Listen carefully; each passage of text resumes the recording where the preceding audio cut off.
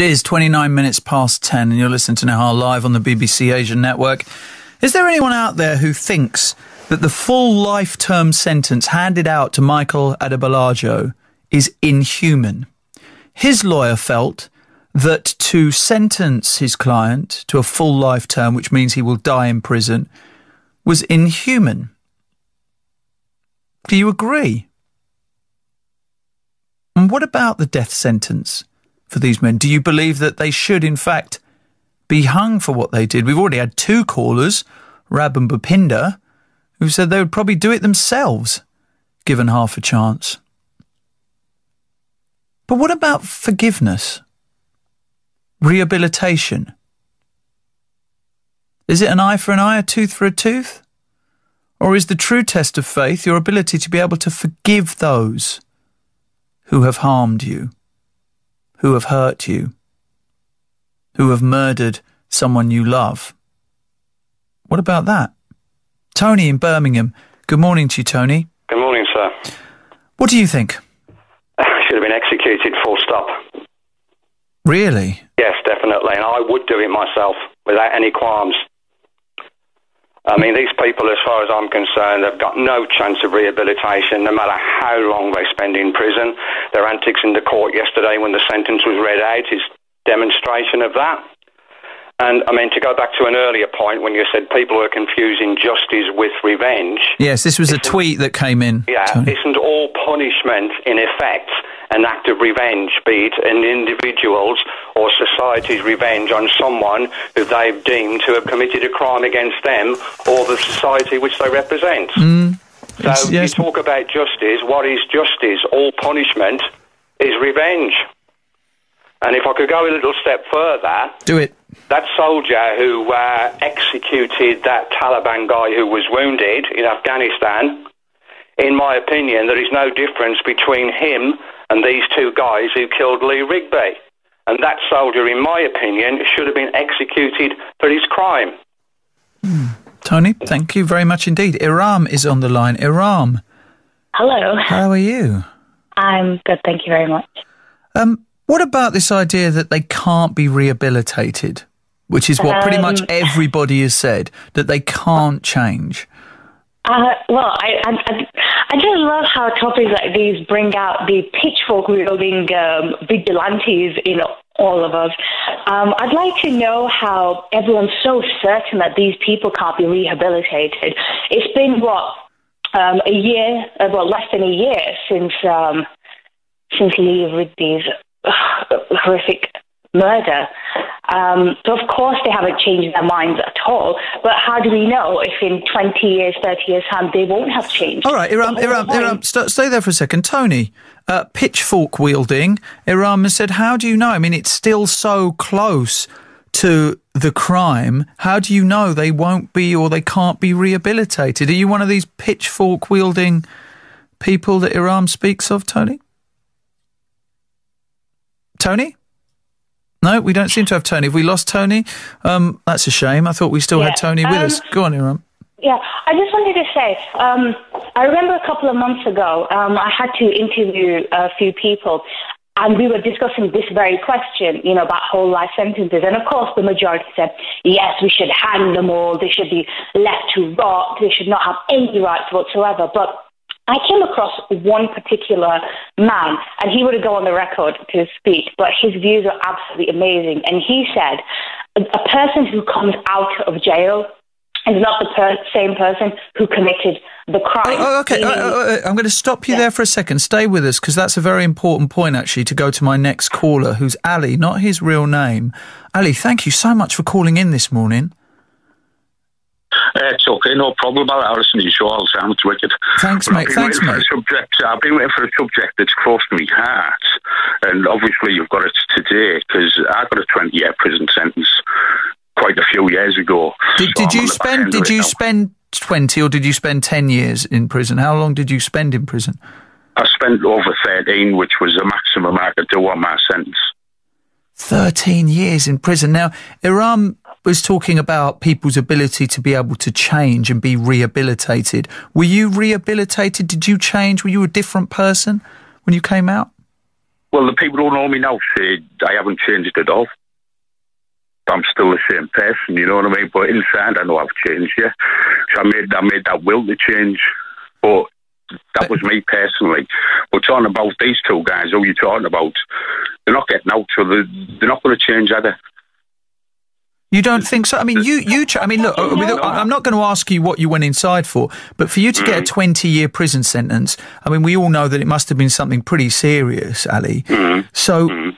there may have been those at the time who would have said about you, "Oh, take away the key, throw it away, lock him up, never want to see him again." But you've come out and you have managed to have a life. Now, I'm not saying for a second that you did something as heinous and as terrible as these two men did. Mm. Of course, you didn't, because you'd still be inside if you had it done. Mm. But you believe that people can change because you did change, right? Yeah, I changed, but some people don't change, do they? You come out, you re-offend. I come out, I re-offended, I had to go back for 12 months. Right. I've only been out 12 months. Do you know what I mean? Right. So I failed the first time that I come out because you build up an idea of what life's going to be because you don't know, do you? Things change. When I went away, there wasn't even mobile phones or internet. Oh my gosh. Um, do you feel yeah, that, that so... do, do, do, would you welcome bringing back the death sentence, Ali? Do you think that some people deserve it? And, and, and there are some people who argue that life in prison is cushy that these men will go there, they'll have television, they'll be fed three times a day, they'll get exercised, that it's actually more like a holiday camp. What do you think of that? Someone who spent 13 years of his life in prison. Well, people who are saying that, I'd like them to go and see. I'd like to see them go and do it and tell me it's a holiday camp because you're just you're just a pet, aren't you? They let you out for exercise, they feed you, they send you to work. You know what I mean? You're just a pet to them. Hmm. Mm, so you know, you know me. I'm an opinionated person, mate. You know, I'm, I'm, I'm loving the fact that. There's good things in jail. There's bad things in jail, but there's more bad. That's why people reoffend. Do you know what I mean? Because there's nothing out there. Go on. But were you were you were you, you were you ever a violent man? Well, I went to prison for violence. Right. Okay. So you went, and do you think now that you're not a violent man? No, I'm not now. So you, it would take much more to provoke you now than perhaps it would have done 20 odd years ago. Yeah. Hmm. Um, Iram, is... some people change, some people don't change, you know. Right. So when you were in prison, did you meet people who you knew were pretty much psychopathic and would never change? Yeah. You can see people like that. There was people in there who ain't getting out. They've got nothing to lose. You know, there's, there's things that go on in there, I swear down, how you don't know. I don't want to say on the radio, you know what I mean? Yeah, no, well, I've had, would I've, be shocked, mate. I, I, can't say that things. Well, I've I've had mates who've been to prison, so I know. I mean, I, I know mm-hmm. from, from them, and I've I've visited one of my friends in prison before. So, and you know, it's. I mean, he's a he's a giant lump of a fella, so mm-hmm. he didn't have too much trouble. But mm-hmm. it, it it wasn't a holiday camp for him. That's that's. So uh, I tell you what's a killer. So I tell you what's a killer. Yes. You're going to laugh now. Do you know when there's no rugby in that? Where there's no what, sorry? No roti. Oh, there's no roti. Okay. I'm telling you. Right. That's a sentence in itself. Right. Okay. Well, you're you're back out, and hopefully, Ali, I take it you're on the straight and narrow now. Yeah, definitely. Good definitely. man. Keep listening. Thank you so much for calling know, in yeah. today. Cheers, mate. All right. Thanks a lot. Yeah. Cheers. Bye. Hearing from a man who spent 13 years in prison. Um, Iram, I mean, that's a man who spent 13 years in prison and believes that people can't be changed. He's just proved my point. He came on saying, "Oh, these men will never change," and then you know, throughout his, uh, his speech there, he just demonstrated how prison changed him and how he's not the same person. He's not this angry man anymore. I'll tell you another example. Um, and like Muslims always go on about Malcolm X and what a great hero he is, and yet he converted to Islam when he was in prison and he changed and he renounced his ways. You have to give people that chance to, to change and rehabilitate. If you say to someone, you know what, you're scum, you can never change, this is it for you, of course they're not going to change because they don't see the point of it. Now, I'm not for one second saying that what these men did was it was. It was disgusting. Um, and if they haven't changed their views, if they haven't renounced their ways, then fine, yes, keep them in there for 40 years. But if they show signs that they've truly repented and they've changed and they're so ashamed of what they've done in 10, 20, 30 years' time, then why don't we give them that chance? This is what be human is about, about showing forgiveness, about showing tolerance. You know, why should we just completely damn somebody to eternity as as someone despicable and not able to have this chance to change? Okay, um, wait there for a second. Tej is in Rugby. Um, after that, I'm going to speak to Asghar Bukhari from the Muslim Public Affairs Committee, who's a guest of mine. Jay in Walsall is also on the line. Tej, good morning. Good morning. Um, Iram says that if you tell someone they can't be rehabilitated, they won't be. But we just spoke to, and I'm sure you heard me speak to Ali, who spent 13 yeah. years in prison and is a changed man for it. Do you believe that these men can be rehabilitated and that a- no, you don't? No, they can't. When they commit a crime like that, there is nothing you can do. No, I think they should be hanged personally. Well, you're not the first person to say that on the show. A few people have offered to do it themselves. But Tej, what about forgiveness? What about mercy? Are you a religious person? I am a religious person, but when you commit a crime like that, you can't be forgiven. You know, look at the family; they're going to be living with that for the rest of their life. Like when it's his birthday, you know, Christmas. How can you forgive the person? You know, I did that. Mm. Tej, stay with us. Iram, stay with us. Asghar Bukhari, very good morning to you. Welcome back to the show. Yeah, thanks for having me. Um, Asghar, do you think that a full life sentence is inhuman? Yeah, I think it's uh, tantamount to torture. Uh, I heard the previous guest there say that he should be hanged. Well, Adebolajo himself, well, when I was uh, listening to, I actually went down to, um, to um, hear him speak, and he actually said that when the judge said, "Well, you know, what do you suggest?" and he said, "Kill me." And I, and I think you know, Britain and Western countries often complain about the death penalty as, as being barbaric, but I'd say what they're handing down is far worse. Torture is far worse than death. But is that, well, but isn't that the point? That it's punishment. And of course, you're not going to give a prisoner what they want because his argument for wanting death, because originally he wanted the police to shoot him dead because he wanted to be martyred. He wanted to join his That's friends right. and family in heaven, is what he said. You're not, right. you're not going to yeah. give someone what they want after they've committed a crime like that, are you? But then Britain and, and, and, the Western world shouldn't go around um, complaining about the death penalty, saying it's inhuman around the world. If they're if they're ha- more than happy to to do something far worse than death penalty, um, and saying, well, you know, that's what justice is, um, then that's fine. But don't act like moral champions when when you're going to commit an act, in my opinion, of torture um, um, uh, yourselves. Torture is worse than death, and, and, and that's what, in my opinion, they've elected to do uh, with this man. And the reason is, in my, uh, you know, following on from that, is politically motivated. People get people have killed children and got less than that um, they did it because they were sending a signal. Um, it's a politically motivated murder, and they, they were making a politically motivated statement with this judgment. What do you think, uh, Tej, of what Asghar Bukhari from the Muslim Public Affairs Committee has just said? Sorry, I didn't hear that. I missed it. Okay, that's fine. That's fine. Essentially, he was uh, saying that it's politically motivated, what happened, and that actually you're torturing these two men you're torturing them to death, which is far worse than the death penalty. And it is well, inhuman. Yeah, it is inhuman. So they're going to be in prison, yeah, for the rest of their life. They're going to enjoy it. You know, that there's more luxuries in prison than, um, you know, you can think of. Yeah, well, I think we yeah, just maybe you, maybe you should go there then and spend a little bit of time. Well, there. we, we did speak to some. We did speak to someone who'd spent 13 years in prison, and he's um, and he he did say, say you know, he did say if you if you think it's a holiday camp, go and spend some time there and, and find out. I can't tell you what I do for a job because it's involved in that kind of work. Oh, I see. Okay. But the things I see and the people I work with, they tell me things, and yeah, they're enjoying it. My mates, for example, he's just come out of prison, you know, they've enjoyed it. You think it's a holiday camp to them. Mm. You know? Tej, thank you very much indeed for that. Jay is in Walsall. Asghar, stay with us. Jay, good morning. Hello, good morning. Uh, did you hear what Asghar Bukhari said about it being inhuman, politically motivated, and indeed torturing Michael yes, Adebolajo? Yeah.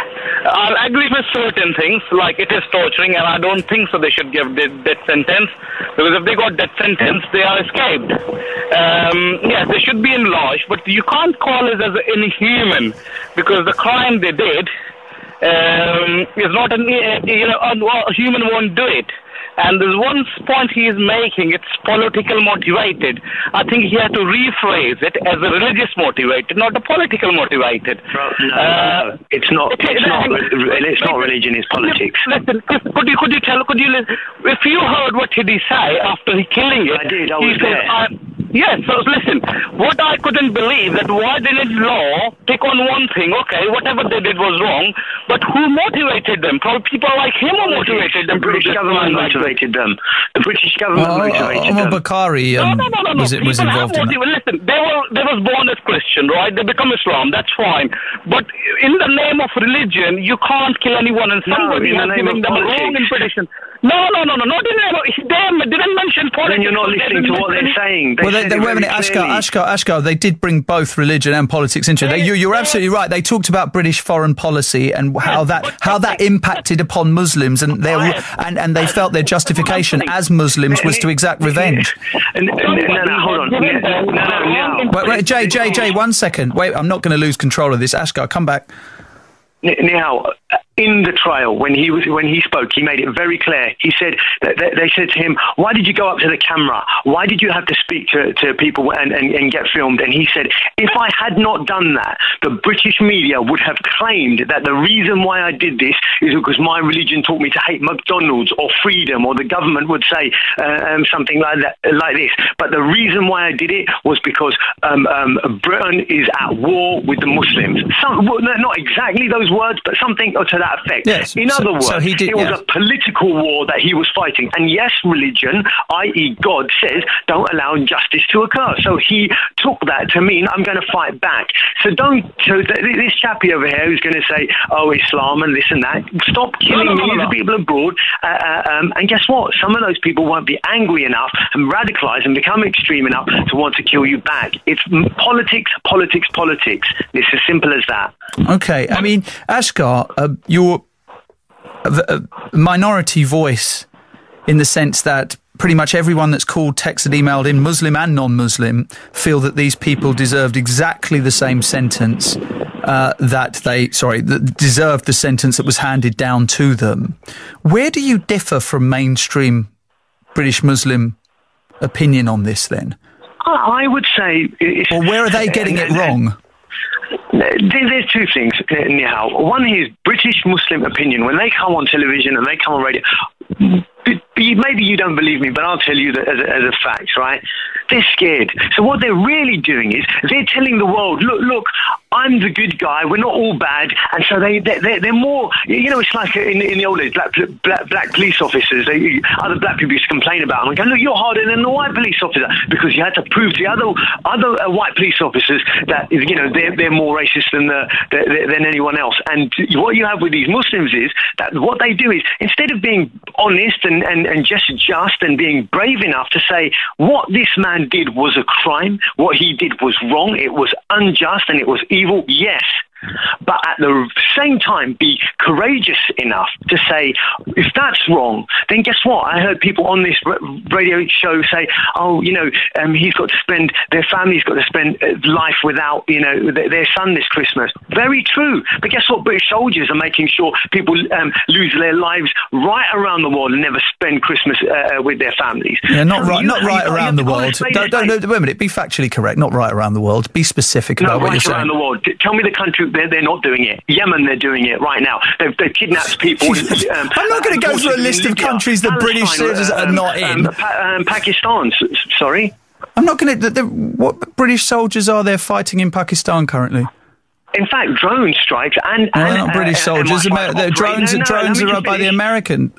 No, again, you, you, this, uh, this is a, a mistake. Read uh, Cruel Britannia. Britain has its own drones, and it, it, works hand in glove with America when it comes to intelligence, torture, well, that's one book coming from this one Cruel angle. Britannia by Ian Cobain. Uh, you can buy it in a bookshop, and it has right, documents okay, time right. and time and time again.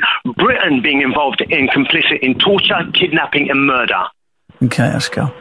Um, let's speak to Aliyah. Stay with us, Asghar. Aliyah is in Leicester. Aliyah, uh, are you a Muslim?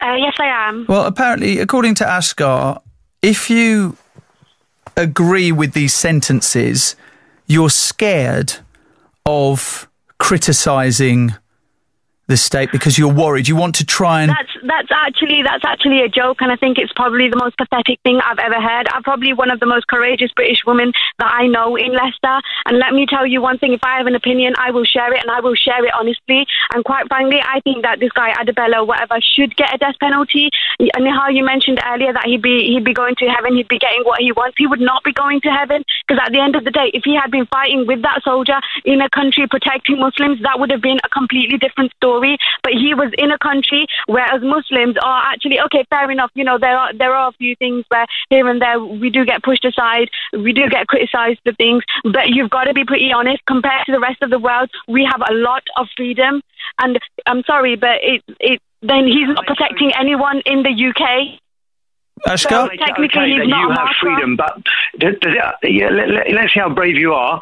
That makes it okay because you have freedom, while the denial of m- hundreds of millions of people around the world don't have freedom. Is that, is that, is that brave of no, you to no, say that? I'm, I- that, I'm not saying that. I'm not saying that at all. I do help my brothers and sisters in Syria. I don't need to justify in public what I do to help them. I do pray for them, but at the But end of the day, you do have to justify I- coming on here.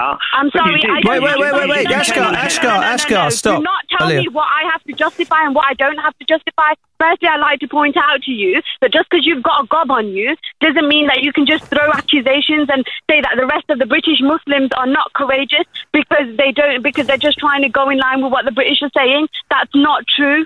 You know, at the end of the day, we're all entitled to our opinions. Just because we share the opinion Yes, of the British opinions are more does not mean does not mean that we are not courageous. It just means You're that our opinion is different to yours, and you need to accept Muslims that. are not. They're People scared. have people They're have- frightened. Oh, frightened! I'm a Muslim. I'm not frightened. Well, You can't tell me what I am. I'm I'm on this show and I'm telling you I'm not frightened. So you That- can't tell me I'm frightened when I'm telling of. you I'm not frightened. You're not saying anything you should be frightened of. That's not brave. To, Wait a minute, she, she, wait a minute, she said, wait a minute, she just said, wait a minute, wait a minute, whoa, whoa, Asghar, she just, she just said they should be given a death sentence. You said that people who say things like that and agree with this sentencing are scared. She's just said. So tell me what I'm scared Yeah, of. what is she scared of? You're telling me No, I'm no, scared. no, tell no. me what I'm scared of because you seem to know me Let better me- than I know myself. clarify. All right, let, let, let, let him clarify his point because he didn't make it clear enough first you know, time. You know, you, you know, being brave isn't saying something that everyone agrees with. That's not brave. That's normal.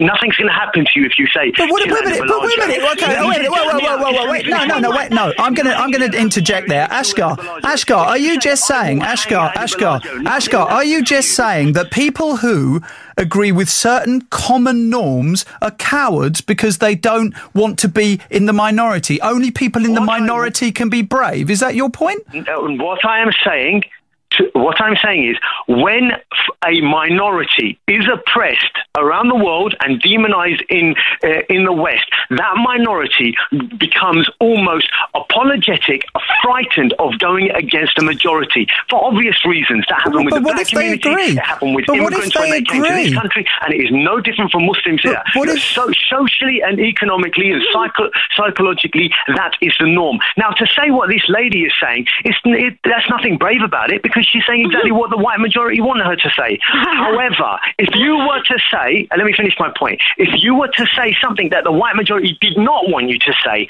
now that's brave because you're going against a vastly more powerful force and knowing deep in your heart that you could become get in trouble for it. That's brave. You've said nothing brave on this radio show. right, All can you've I- done is speak acted now? tough to me. okay, can I speak now? Go on, Aaliyah. Okay. First of all, I am not going to pretend to be brave if I don't share an opinion that differs from the majority. If my opinion is the same as the majority, I will share it regardless of whether it makes me normal or different. so you can't say to me, you, yes, so wait, but we're not talking about whether we're brave or not. We're talking about You being are. cowards. You're the one. You're the You one. the one who brought that up, I'm Asghar. a coward. If I share the opinion of She the said she was majority, the bravest lady in Leicester. Well, she did Yeah, that. wait, as, wait, she did Yeah, that as I a said that, reaction to you. said Assu- that wait a minute, reaction to Asghar. you said. Asghar. She did that as a reaction to you, somewhat arrogantly assuming that because people don't agree with you, they're cowards. It's not arrogant. It's a fact. I know my own Oh, community. it's not. I'm sorry. What, I'm really? sorry. Oh, really? Okay, all right. statistically proven Okay, as a fact. because you're a quote unquote community leader. Statistically proven as a as a No, I'm not a community leader. I'm just a man with his eyes and ears open. I know my own Oh, oh, community. I'm sorry, I I'm know sorry, this. Well, you clearly don't, I- Asghar, I- because because because you because you haven't you haven't there hasn't been a single Muslim who's called in today who's agreed with you. What I've said, they're scared. Oh yeah, what no, they're doing yeah, is they're making scared. a I'm public really glad show. to say that. Did you not know, Nihal? They're Okay. scared.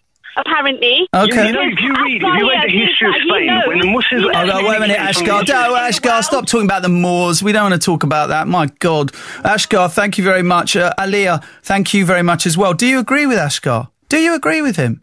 Because he's saying that any Muslim who believes that these men got the sentence that they deserved essentially are not brave enough that you're buying into what white people think you should be saying and thinking because you're too scared to say what he's saying.